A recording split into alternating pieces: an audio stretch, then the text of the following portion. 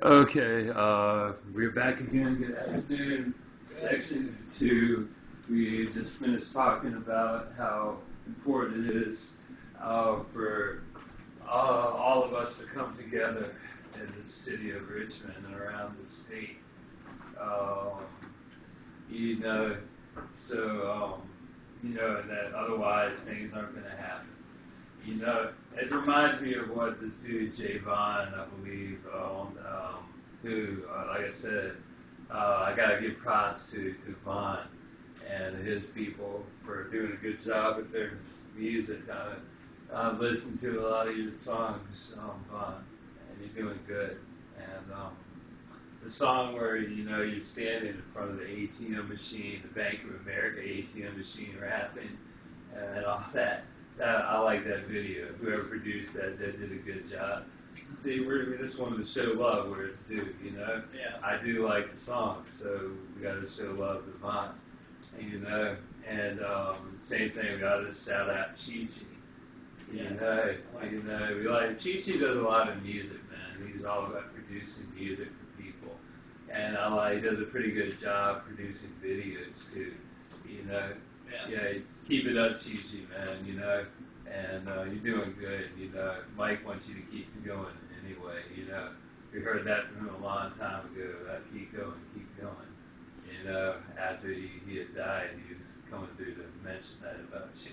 I can feel like this vibe coming through from the uh, other side. You know what I'm saying? Go ahead with The whole John Lennon um, vibe. You know what I get? there. Let's about. Well, the reason I got that is because I got to feel he was saying you said the words "come together." John Lennon pops in and goes, "I said over me." So do it for John Lennon, okay, but do it for your grief. Uh, come together for your grief, your sadness. Come together for your happiness.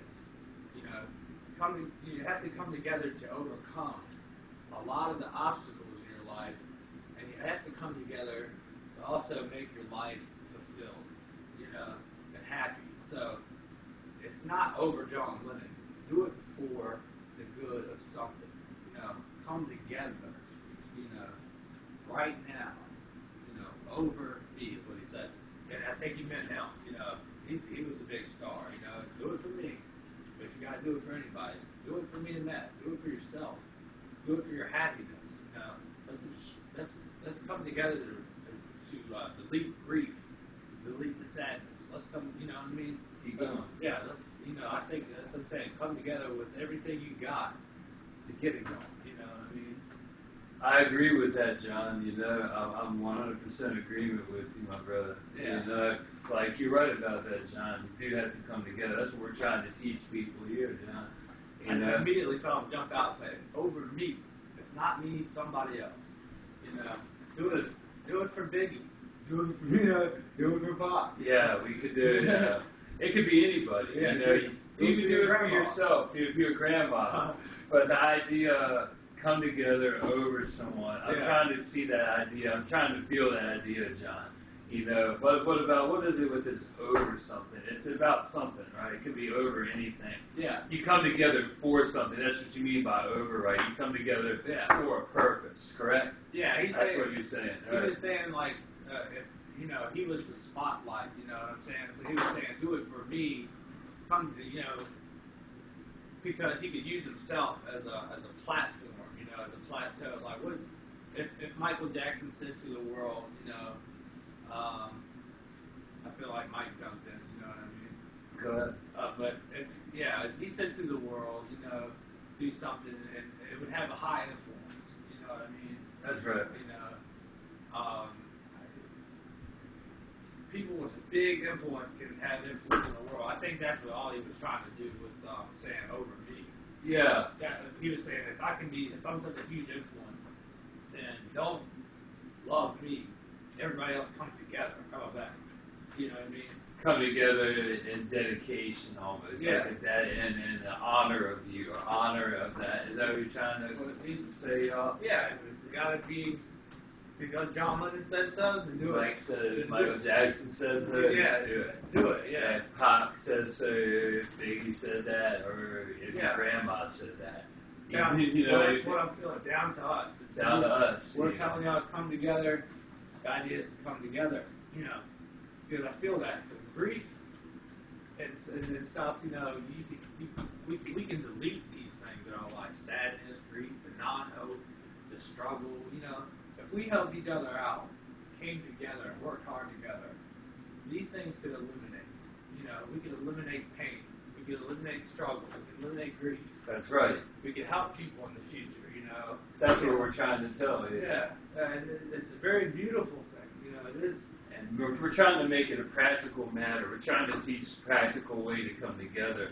It's like a lot of people look at this stuff, y'all, John, Mike, all y'all here, you know, like you're looking at it like they look at it as esoteric, spiritual concepts. Jeremy and I are just trying to translate it into a, you know, more empirical data type thing where people can see the proof and see how it works empirically one bit to the next. Do you understand? Yeah, yeah. I mean, can I? Do you mind if I? Go ahead. Yeah, I, I had a. Um, I, I think I met with John Lennon. I'm, I'm positive of it, but I wasn't sure at the time. You know, when I was younger, I met with John Lennon nightly in dream states. You know, for three weeks straight. He taught me a lot of stuff. So a lot of times, uh, I, I I quote John Lennon or I quote the Beatles and stuff because I kind of felt like they saved my life you know, in a lot of ways by saying, you know, all you need is love, come together. The things that are positive to hear. Yeah. We, we do need to hear more of that, do more of that kind of stuff.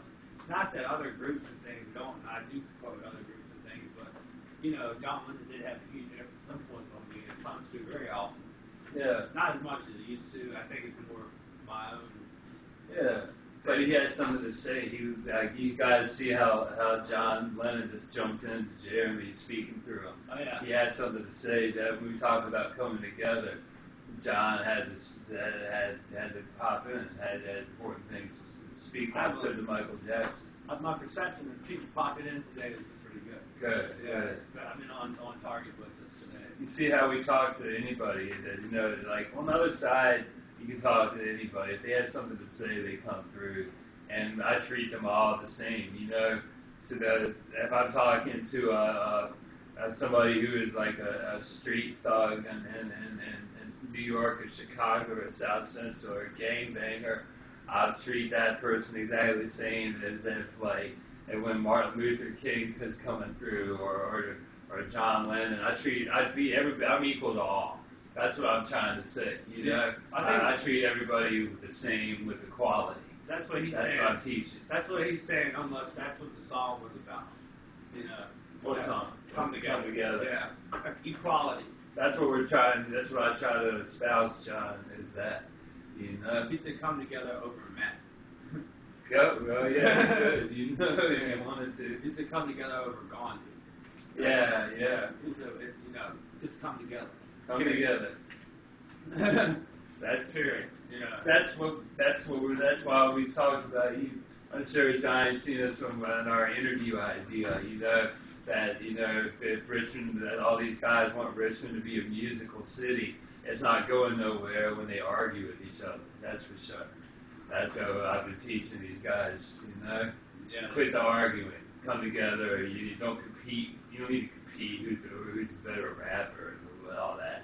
Well, he said he was guilty of that in his own life too. I know. I know. And learning, learning that that you're, you're, you know, he knows now you're right.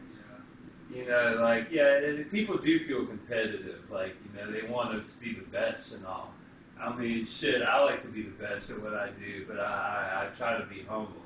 To, Michael Jackson said he thought he was the best, and you know, and that's what got him through. But now looking back, you know, he, he, he was kind of like, you know what I'm saying?